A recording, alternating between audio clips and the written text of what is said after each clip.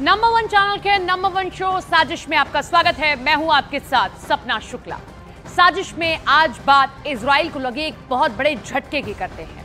Iran के एक बड़े हथियार ने इसराइल के युद्ध में एंट्री मार ली है। नेतन्याहू को इस हथियार के बारे में जब से पता चला है, उनकी नहीं, पूरे इसराइली सेना की नींद उड़ गई है।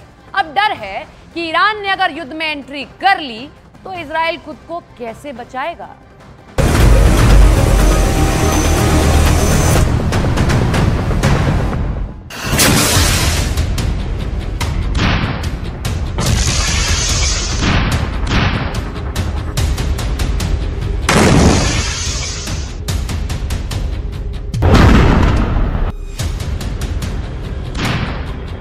इसराइल को एक नहीं, दो नहीं, तीन नहीं, दस, बीस नहीं, सौ, दो सौ नहीं, बल्कि तीन सौ अट्ठावन मौत देना चाहता है ईरान। इसराइल के सामने इतने दुश्मन खड़े हो गए हैं कि उसे तीन सौ अट्ठावन मौत देना चाहते हैं। इसराइल ने गाजा पर जितने बम गिराए हैं, उसका बदला तीन सौ अट्ठावन मौत से लेना चाहते हैं।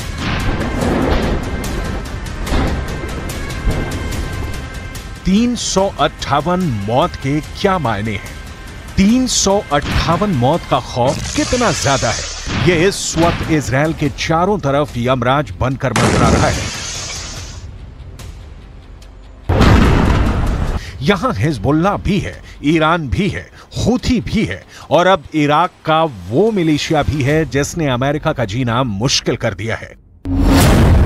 आखिर तीन सौ अट्ठावन मौत है क्या? और इसराइल क्यों इससे घबराया हुआ है?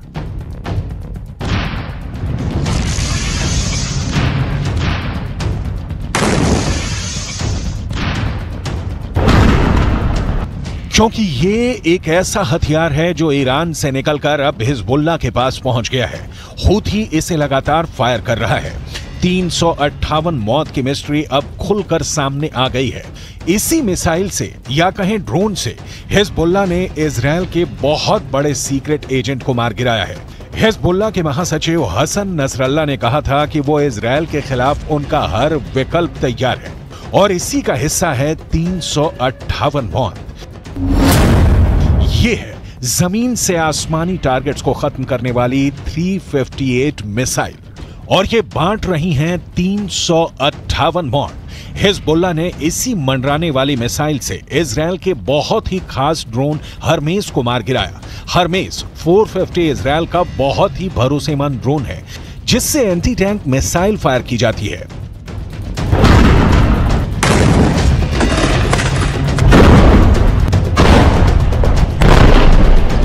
जब ये ड्रोन लेबनन के आसमान में पहुँचा तो हिजबुल्ला ने उस पर तीन सौ अट्ठावन मौत बांटने वाली मिसाइल फायर की और देखिए क्या नतीजा निकला। ये ईरान का वो हरफन मौला हथियार है जिसे ड्रोन भी कहा जाता है। ये ईरान की मिसाइल भी है, जो ईरान की ड्रोन टेक्नोलॉजी को मौत बरसाने वाली सबसे नई तकनीक साबित कर रही है। ईरान से निकली तीन सौ अट्ठावन मौत। इसराइल के खुफिया मिशन को धुआँ धुआँ कर रही है। ये मिसाइल भी है और ड्रोन भी। ये कैसे अपने टारगेट को खत्म करती है?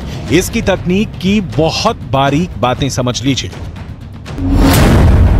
358 नाम की यह मिसाइल एक ड्रोन की तरह काम करती है, जो फायर करने के बाद आसमान में आठ नंबर के आकार की तरह गश्त लगाती रहती है।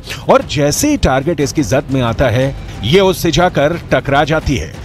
358 मिसाइल में आगे की तरफ़ लगा इंफ्रा रेड सेंसर इसे टारगेट की भनक देता है और फिर यह अपने निशाने की तरफ़ बढ़ जाती है। ये एक ड्रोन से तेज रफ्तार से चलती है, जबकि एक मिसाइल के मुकाबले में इसकी स्पीड कम होती है।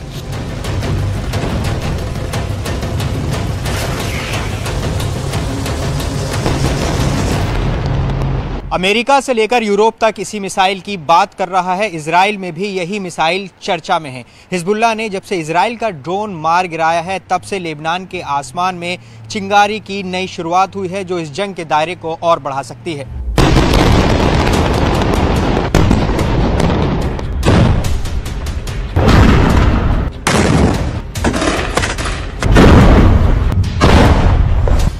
इस बीच ईरान से एक नई तस्वीर वायरल हो रही है। ये है ईरान के सुप्रीम लीडर अली खामनेई की, जो ईरान के गाजा नाम के ड्रोन को देखने पहुँचे। इस ड्रोन को ईरान का सबसे पावरफुल लीडर क्यों देख रहा है? इस वक्त पूरी दुनिया में इसके मतलब निकाले जा रहे हैं।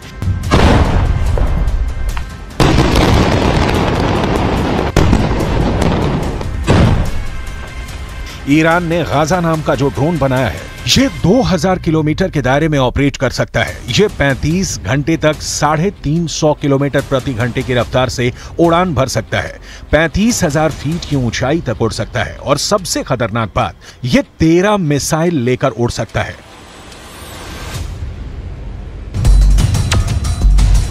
ठीक ऐसे ही अपने हथियार ईरान ने रूस को भी दिखाए थे।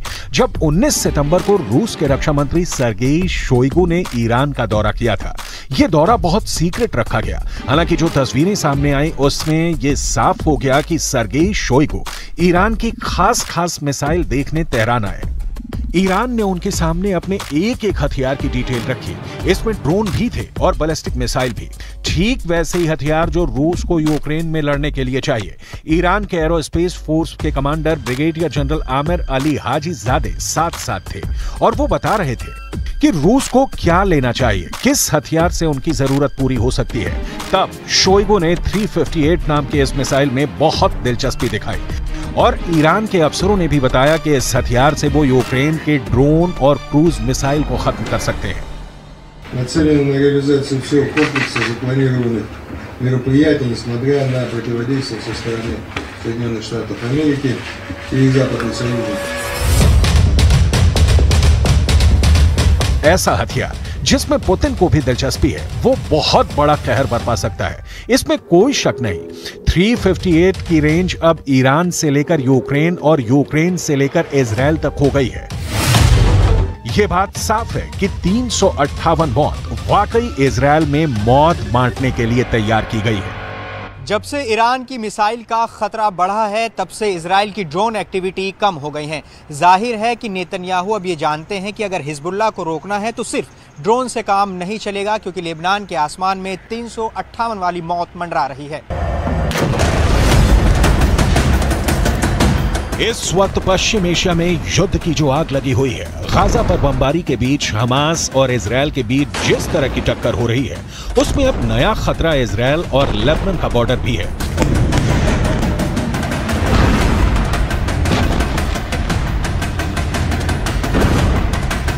यहाँ भड़के शोले अब युद्ध की इस आग को 10 गुना भड़का सकते हैं और अब दुनिया में सिर्फ़ चार लोग इसे कंट्रोल कर सकते हैं।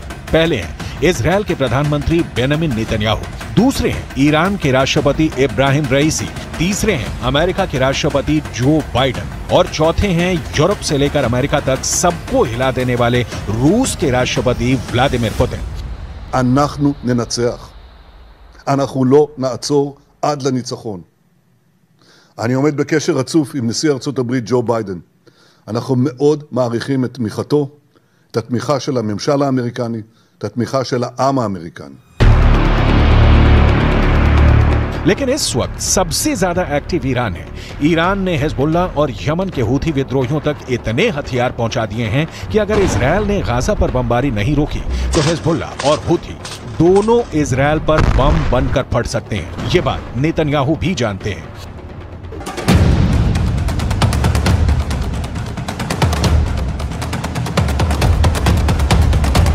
इस वक्त लेबनन और इसराइल के मौत वाले बॉर्डर पर हिजबुल्ला का पूरा कंट्रोल है।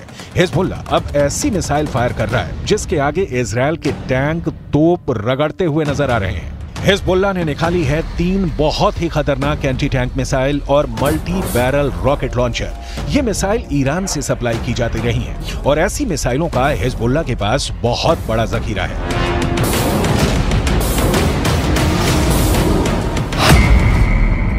हिजबुल्ला तीन तरह की एंटी टैंक गाइडेड मिसाइल इस्तेमाल कर रहा है। ये है कॉर्नेट इसकी रेंज पाँच किलोमीटर तक है।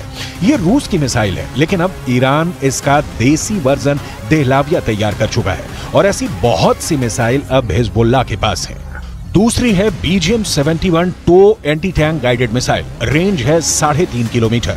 ये अमेरिका में बनी मिसाइल है, लेकिन अब इसकी नकल ईरान तैयार कर रहा है और उसने हिजबुल्ला को सप्लाई की है। तीसरी है 85 फाइव कॉन्कॉर्स, रेंज 4 किलोमीटर। ये भी रूस ने बनाई है और अब ईरान में ये तोसान नाम से तैयार की जाती है। तीनों मिसाइल बहुत ही घातक हैं और जिस तरह से इन्होंने इसराइल के अड्डे उड़ाए हैं, उससे ये बात साबित हो जाती है। हिजबुल्ला का दावा कि उसका हर हमला इसराइल को मुंहतोड़ जवाब है।